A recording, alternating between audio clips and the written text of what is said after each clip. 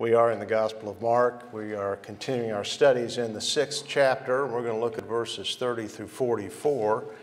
And really, we, we pick up where the chapter left off in verse 13. At the beginning of Mark 6, Jesus goes to Nazareth.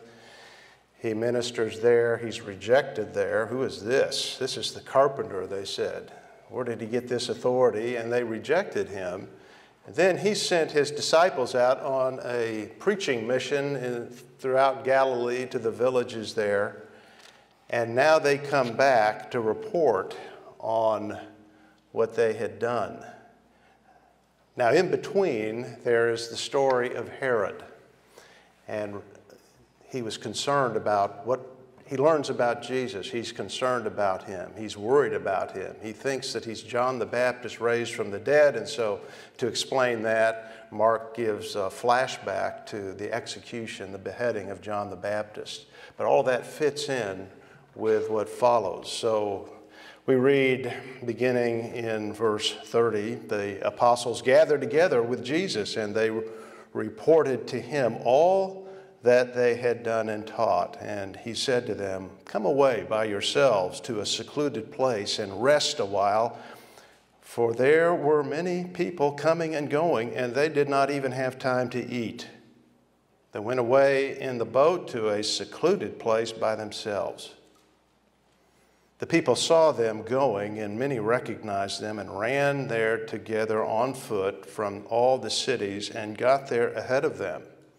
When Jesus went ashore, he saw a large crowd and he felt compassion for them because they were like sheep without a shepherd. And he began to teach them many things. When it was already quite late, his disciples came to him and said, This place is desolate and it is already quite late. Send them away so that they may go into the surrounding countryside and villages and buy themselves something to eat. But he answered them, You give them something to eat. And they said to him, Shall we go and spend two denarii, 200 denarii on bread and give them something to eat? And he said to them, How many loaves do you have? Go look. And when they found out, they said, Five and two fish. And he commanded them all to sit down by groups on the green grass. They sat down in groups of hundreds and of fifties. And he took the five loaves and the two fish, and looking up toward heaven, he blessed the food and broke the loaves, and he kept giving them to the disciples to set before them. And he divided up the two fish among them all. They all ate and were satisfied, and they picked up 12 full baskets of the broken pieces and also of the fish. There were 5,000 men who ate the loaves. May the Lord bless this reading of His Word and bless our time of study in it together. Let's bow in a word of prayer. If I were to ask you, what can't God do? You'd answer, I hope, there's nothing that He cannot do. He's the Almighty. In fact, he told Abraham in Genesis 18, Is there anything too difficult, or you can also translate anything too wonderful for the Lord to do? And the answer, of course, is no. well, can he create a rock so heavy that he cannot lift it? Skeptics like that question. The answer is no. So there are things God cannot do. He cannot do the absurd. He cannot do what is foolish. He cannot do what is irrational. He cannot make a rock that he cannot lift. He cannot do anything that limits himself. He cannot lie. That's repeated twice in the New Testament in Titus chapter 1 and verse 2, and in Hebrews chapter 6 and verse 18, it is impossible for God to lie. And when we see something like that repeated in the Bible, the Holy Spirit is saying, This is something you need to remember and believe. He is completely reliable, and all powerful. So, do we trust Him? Theology is not abstract. Theology that is correct is very practical. And when we understand that God is the Almighty, that He's all powerful, the implication of that, the application of that is then trust Him. Do we? There's a story you've probably heard about Charles Blondin, who was an English acrobat and the first man to cross Niagara Falls on a tightrope. It uh, was a great sensation when it occurred. He uh, walked from the American side to the Canadian side and back. The crowd cheered wildly. So he asked them, Do you think that I can carry a man across on my back? Yes, yes, we believe. Okay, he said, who will volunteer to go with me? The crowd was silent. A year or so ago, uh, one of the men told that story in the evening, Sunday evening meeting. And I remember it because, one, he told the story well, and he also added that Blondin did things like um, he cooked an omelet over the falls and ate it. But also, when the meeting ended and I got in my car to leave, I turned on the radio and someone was telling that same story exact same story. So, what I heard here 30 minutes earlier, someone in New York was telling, and ended with the same punchline okay, who will volunteer to go with me? Silence. Repetition fixes things in our minds. And so it is with our passage, Mark chapter 6, verses 30 through 44, the feeding of the 5,000. It's the only miracle the Lord did that is repeated in all four Gospels. Now, that indicates how important it is and that the Holy Spirit wants us to remember it, to believe it, and, and to learn its lesson, its lessons for that matter, which are, are three, but the principal lesson that the Lord gives here is there's nothing that God cannot do. So trust Him. He doesn't ask us to do zany things like uh, take a tightrope across a dangerous waterfall, but he does say, Follow me through a world that is even more dangerous than that. He is reliable. He is trustworthy. He cannot lie. And that's what Jesus was teaching his disciples in that incident and what's recorded here in Mark chapter 6. The lesson occurred after the disciples returned from a preaching mission that Jesus had sent them on through, throughout the villages of Galilee. Uh, he sent them out after his hometown of Nazareth had rejected him. But then, but before reporting their return, Mark includes this flashback on Herod beheading John the Baptist. Together, those two incidents of rejection and violence show the nature of the world into which Jesus was sending his 12 disciples and in which he sends us, his church. It is hostile to those who carry the gospel. That's the mission we are all on. Our field of ministry is filled with dangers and it's filled with disappointments. Mark makes that clear here and does so to show the necessity of looking to and trusting in the Lord. But what Mark and the other evangelists demonstrate from the Lord's miracle of feeding the multitude is that Christ is sufficient for all of our needs wherever we go. The disciples learned that on their mission. He had sent them out without food or money, you'll remember, only with a staff and the clothes on their backs. And they returned to tell of what a success the ministry was and all that they had accomplished. The Lord had providentially provided for all of their needs, and He'd given them success in preaching and teaching and healing and all that they did. But now, after all of that, they needed some time off. They needed some time to recuperate. So Jesus tells them, Come away by yourselves to a secluded place and rest a while. For Mark says there were many people coming and going, and they did not even have time to eat. They went away in the boat to a secluded place by themselves. Now, Luke identifies the place to which they went, a place near Bethsaida, which is on the northeast shore of the Sea of Galilee. And the Lord chose that place because it provided them with privacy. The vacation, however, was short lived. Really, it ended before it began because the people saw where they were going and they ran around the, the, the shore of the sea and they arrived at the place before the disciples did.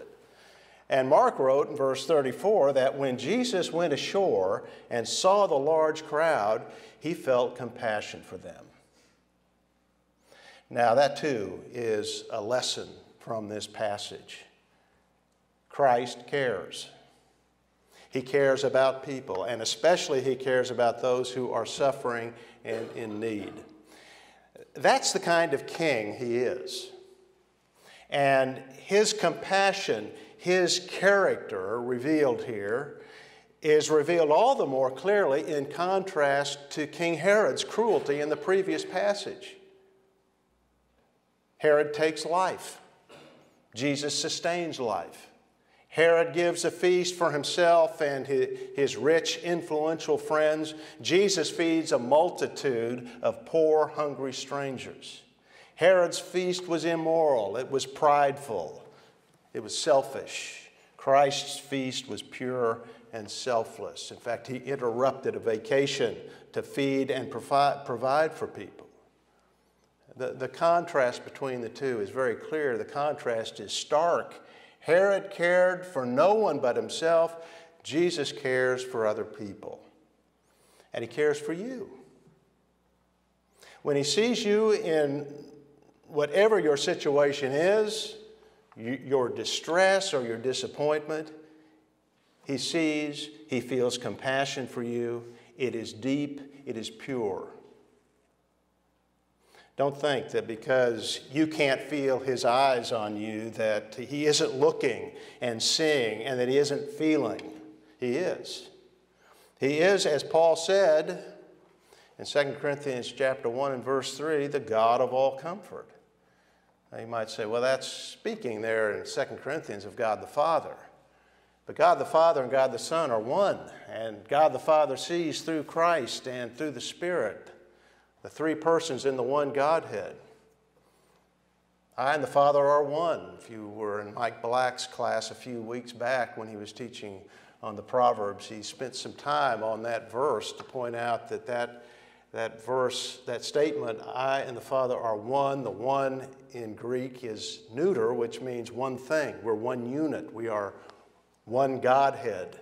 And so, what is true of the Father is true of the Son. And we can say of the Son, He is the God of all comfort. And He extends that to us. And He will not fail you because He is well able to meet all of our needs in His time and in His way as is demonstrated here in this passage. But he not only has the power to do that, he has the wisdom to do it in the best way. He knows our needs better than we do. He felt compassion for the crowd because they were like sheep without a shepherd. He saw immediately that their greatest need was their spiritual need. They had no teacher of God's Word. Well, they had rabbis, Pharisees, and scribes who cared about the letter of the law and enforcing obedience to it, but who cared little for the people's souls. These were God's chosen people that He looked out upon and that were neglected. Prophet Hosea had seen the same problem. He said, My people are destroyed for lack of knowledge. And it grieved the prophet. And it grieved the Lord deeply. He felt compassion for them. Then he acted. He did what was necessary. He became a shepherd to the shepherdless. Mark says he began to teach them many things. What followed later that day was, was more dramatic the feeding of the multitude. It was uh, miraculous. But what he did here, what he did at the beginning, was more necessary. He taught them. He taught them a lot, many things, Mark says. And the lessons went so long that the disciples felt, felt the need to stop him. They came and said to him, The place is desolate, and it's already quite late. So they thought the, the Lord ought to stop teaching. He's going too long, and he was forgetting the, the time, and, and he needed to send the people away to the surrounding villages so that they could find something to eat while it was still light. That seems like a sensible thing. The reality is, whenever we question God, we're wrong, and they were, but the Lord recognized that. He had a different idea from the disciples. He said, Let's send them away so they can find something to eat. And Jesus answered, No, no, we can do better than that. You give them something to eat. John says that he, he did this only to test them, but they, they didn't know that. And so, uh, amazed at what he said to them, all in disbelief, they said, Shall we go and spend 200 denarii on bread and give them something to eat? Now, a 200 denarii is roughly the equivalent of a, a year's wage for a laborer. So, what would that be in, in our currency? Maybe $50,000, something like that. They didn't have that kind of money, and they weren't serious about what they were saying. They weren't serious about the possibility of going out and buying food and bringing it back. What they were saying was, what you're asking is impossible. I mean, just, just the logistics of catering such a meal was uh, not only impossible, it's impractical. We can't do that. But Jesus wasn't finished. Since they didn't have the money, he asked, What do you have? How many loaves do you have? Go look. And so they went and they looked and they said, Well, we, we've got five loaves and two fish. It, it, it was less than a box of crackers and a can of sardines. It wouldn't have fed the 12, much less the crowd. It just wasn't possible, which is the lesson that the Lord was teaching them. Now, the great preacher Alexander Maclaren wrote that the best preparation of God's servants for their work in the world is the discovery that their stores are small. We need to know the source of our strength. It's not in us. Our strength is in the Lord and in Him alone. Our stores are small. Our stores are empty, to be very accurate. We are dependent upon Him. And that's the first lesson that, that He was teaching them here with this test that He gave them. They are not by themselves sufficient for the tasks that He will give them. He had taught them that in, their preaching mission when he sent them out without provisions. He sent them out in a way that they would have to depend completely upon him, and, and they learned his faithfulness through that. He was teaching it again here because they needed to learn what Paul would later say to the Philippians in Philippians 4, verse 13 I can do all things through him who strengthens me. Now, that's great confidence. Why does Paul have that confidence? I can do all things because of what follows through him who strengthens me. We all need to learn that.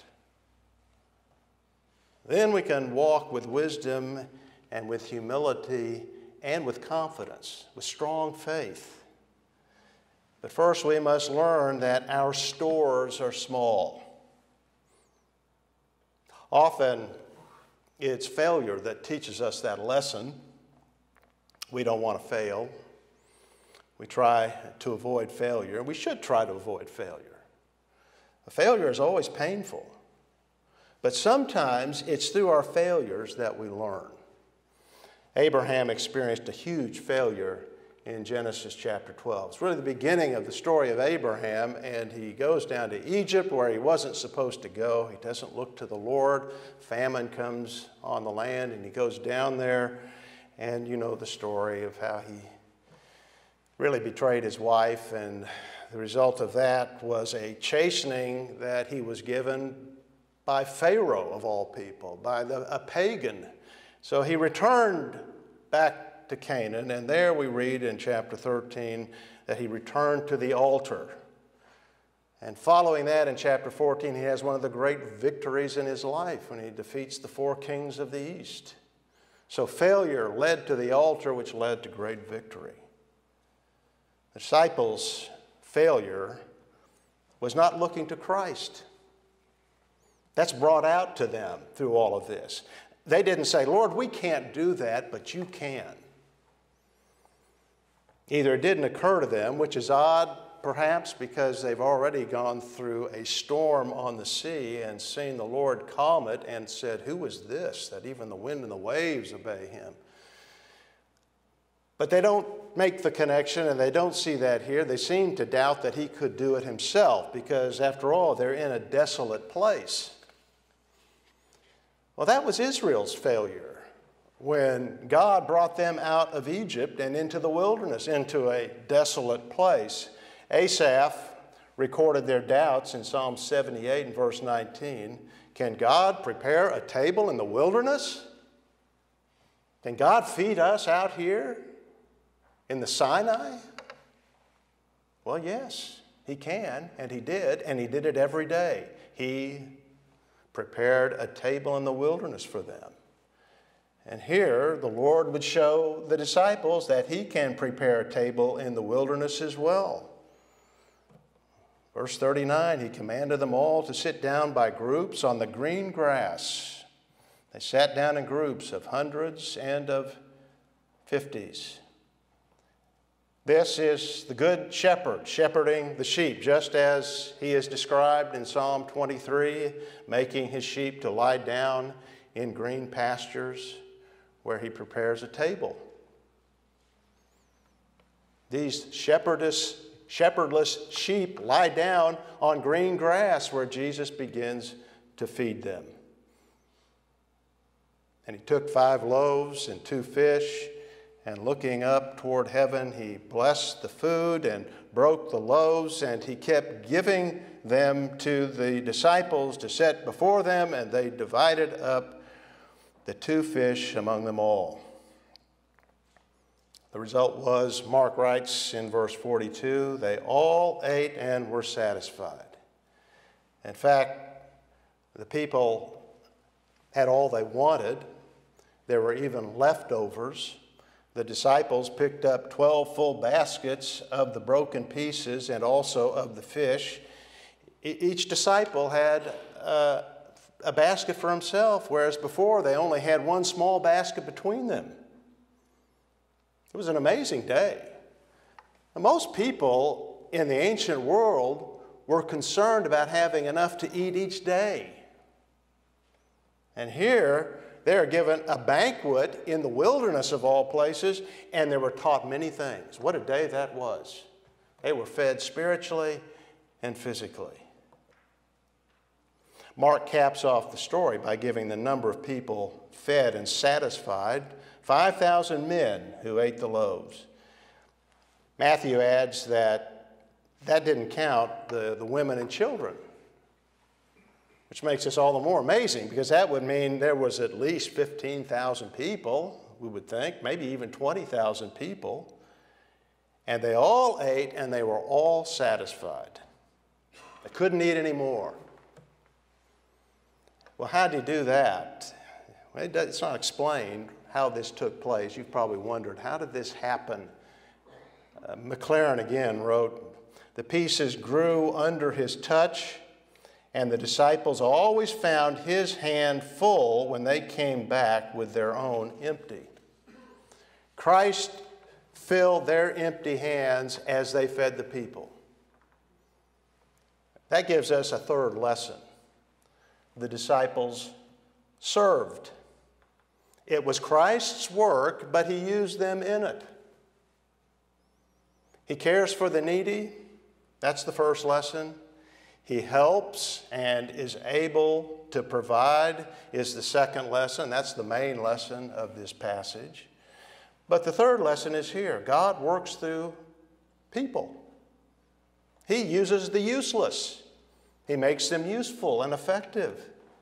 When the disciples gave the little bit that they had to Christ, He was able to take that and do much with it. The little bit that they gave to him, he fed a multitude with that. And that's what we do. That's what disciples do. They, they serve people by giving out what Christ supplies. Now, that may be literally giving out food or some financial help, some physical help. In fact, that's what we're doing here in this crisis that uh, has hit the state of Texas. And so we're collecting food and money and sending that, and we hope you contribute. It's a Christian thing to do. We, we, we serve the Lord in all kinds of ways, and, in, in whatever way presents itself to us at the, the moment. We're to be prepared to do that. But the lesson is God will use His people to do that, to do His work in this world. And we can do great things for Him as we look to Him and as we depend upon Him. And we see Him provide everything that we need. He dispenses to us what we dispense to others. Now, that's what we're to see here. He provides. Most importantly, what he provides is not material good, but spiritual blessings.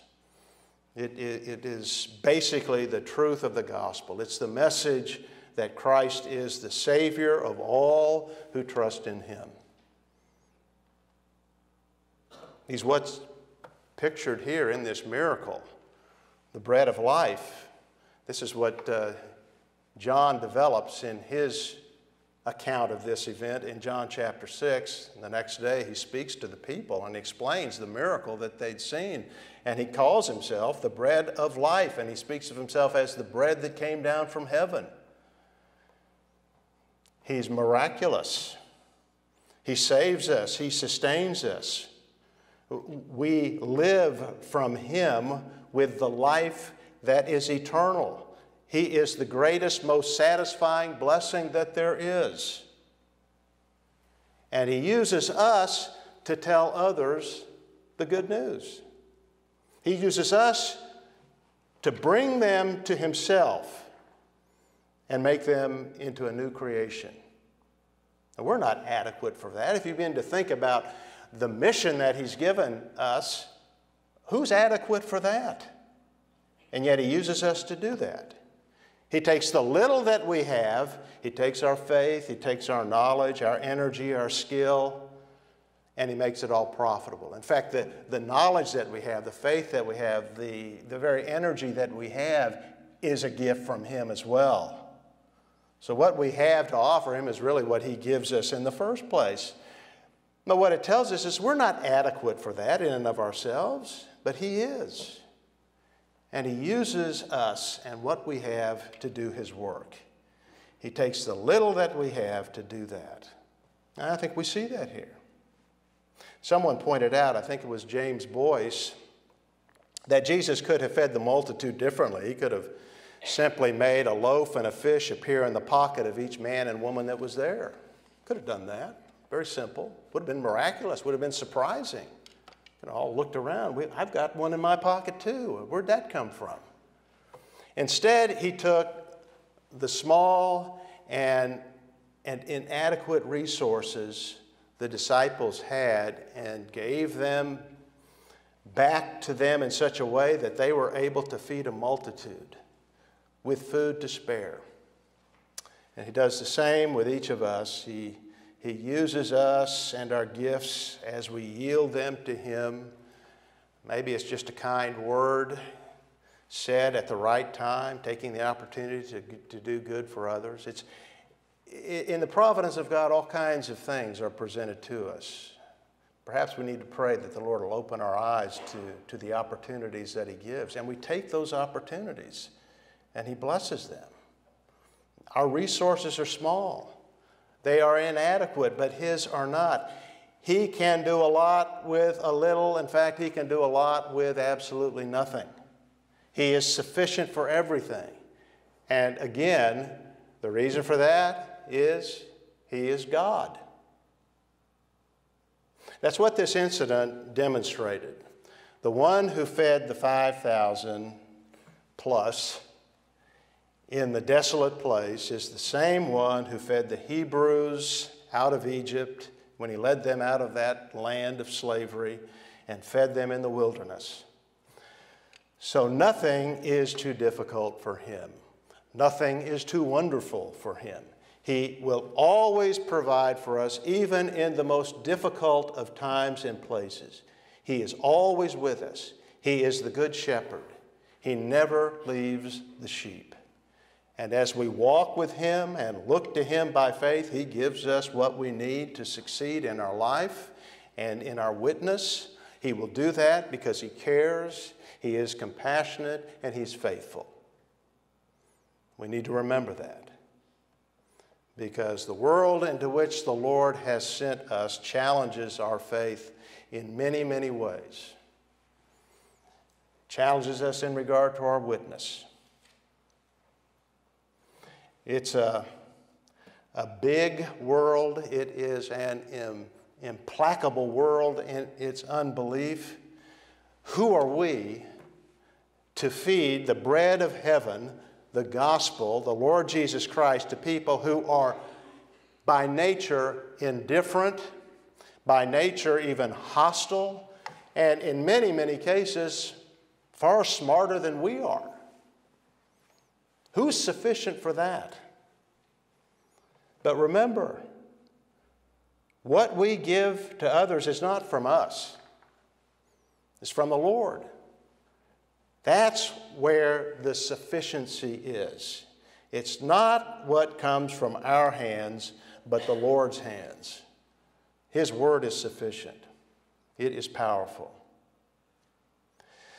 But there, were, there are other things as well that challenge us. Many things in this life put us to the test. Now, for example, when you're young, you need to get into school. You worry about that. Can I get into the school that I want to go to? And then we get out of school, we have the concerns well, can I get a job? And we get a job, can I keep my job? And the, the list goes on of the things that test our faith. And the, the, the, the real test in all of that is can we trust the Lord for all of that? And how we respond to those situations is also a, a witness to our faith. And still, we wonder can the Lord provide for us? That's what we're always facing in this life. Is He sufficient for the situation I'm in? Is He sufficient for our needs? Can God prepare a table in the wilderness? Now, we all believe that He can. Christians believe that. We, we read about it in the book of Exodus. We don't doubt that. We read about it in the four, all four Gospels. We don't doubt that. But do we trust Him to do it in our lives daily? A lot of us probably are more like that crowd at Niagara Falls than we would like to admit. They believed the acrobat could carry them over and back. They didn't want to put him to the test. In that case, I understand completely. But in the case of, of the Lord and His sufficiency, there's no explanation for a child of God's failure to walk by faith other than weak faith. We all suffer from that. That's why the Lord gave instruction in Matthew chapter 6 on worrying about the basics of life, food and clothing. He said, Don't worry. Don't worry. If your heavenly Father feeds the birds, if he feeds a sparrow, isn't he going to feed you? Will he not take care of you? Are you not much more important to him than those? That's true. And that comforts us, but we still worry. So often we are like Jacob. Jacob was a genuine man of faith. He valued the things of God. His brother Esau didn't. He valued them. But he lived much of his life by scheming and doing the things that the, the way the world does things. And it always got him in trouble. When he was an old man, looking back on his life, he confessed, Few and unpleasant have been the years of my life. But at the very end, when he was blessing his grandsons, he spoke of the Lord as the God who fed me all my life long unto this day. Even in his weakest moments, God was with him, feeding him. Literally, his statement is the God who has been my shepherd all my life to this day. And he's the same for us. The God of Jacob is the God of the Christian. He's God and He is our shepherd. And, and just as a shepherd takes care of his flock, he protects it and provides for it. He leads it into green pastures. He feeds the sheep. So too, the Lord feeds us. We need to understand that and believe it and trust Him daily. Not only for food and finances, but for everything. Life is, is sprinkled with disappointments, and some of them are really bitter disappointments. We all have hopes and aspirations in life, uh, and good ones, good aspirations, good desires, good hopes, but they don't always happen. At least not, not as we expect them to happen, not as we plan for them or hope for them to happen. But we should never think that the Lord has neglected us that, that He doesn't have a plan for us and, and even a purpose for those trials and those disappointments. Jacob learned from his disappointments. But again, one of the lessons of this miracle is that the Lord cares, never neglects his sheep.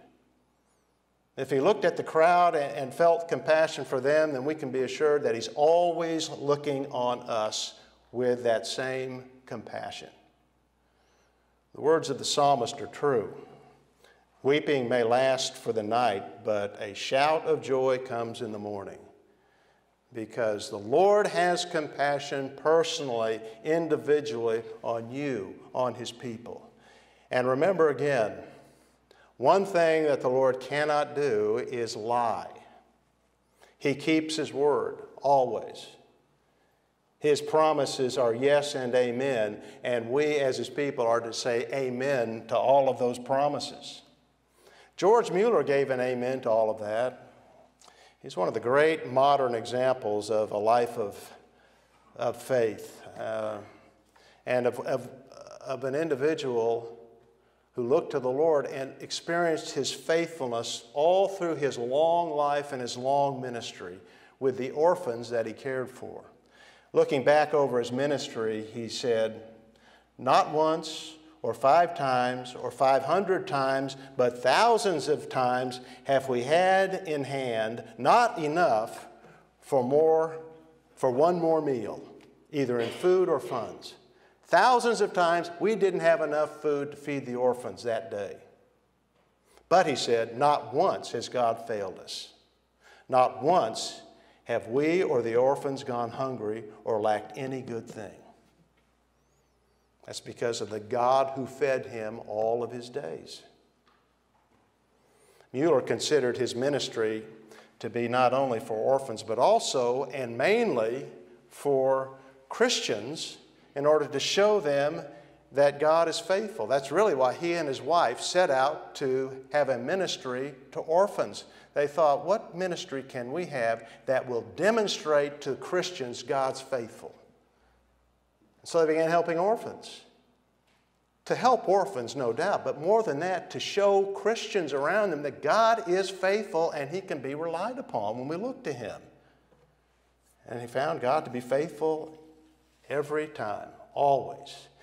Never solicited money from people. He didn't seek God's provision in, in, the ways of the world. He simply sought it through prayer and he wrote that that model, that model of faith, might be instrumental in strengthening the faith of the children of God and being a testimony to the unconverted. And, and doing things God's way so that he gets the glory and he gets all of the glory is the best way to minister and be a real testimony to the unconverted. The world should see consistency and faithfulness in the church. That's what this incident in Mark 6 was intended to encourage. Trust in the Lord, so that when the disciples went out into the world, into a hostile world, to represent Him and face all of the dangers and the challenges that they would face, that they would do so with faith and courage. Well, so how do we get that faith? Because as I've indicated, that I think we all lack that. We, we, we see the point of the lesson for us individually. How do we get that faith?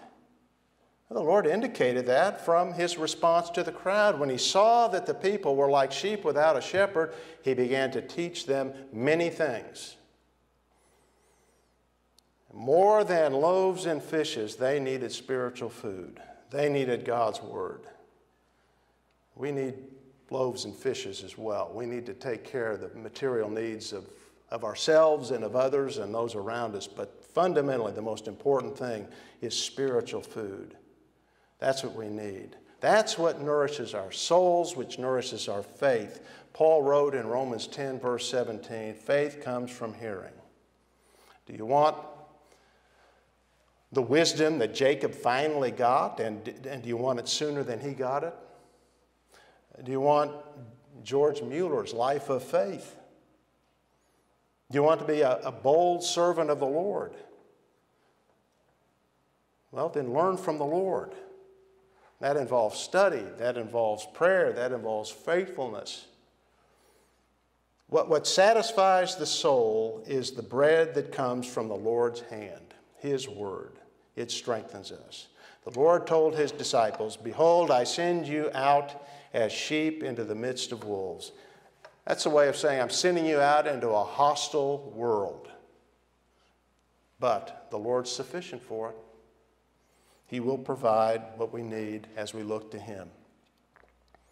If you're here without Him, if you have not believed in Jesus Christ, we invite you to come to Him. He's sufficient for your greatest need.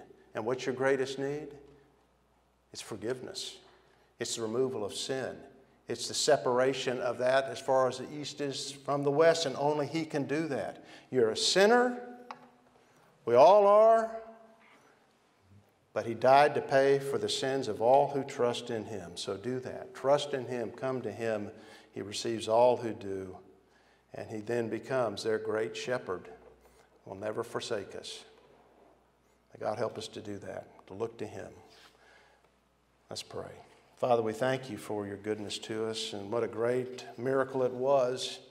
Certainly, you want us to reflect deeply on, this miracle. It's the one that's repeated in all of the Gospels. And so we pray that you would do that, and instill within our hearts great confidence in yourself, great confidence in your Son, great confidence in our triune God. Maybe walk by the Spirit and be faithful. Give us what's lacking. And what's lacking in us is understanding and faith. We are weak. Make us strong, Father, in your service. We thank you for all that we have in your Son. He is all sufficient. It's in his name we pray. Amen.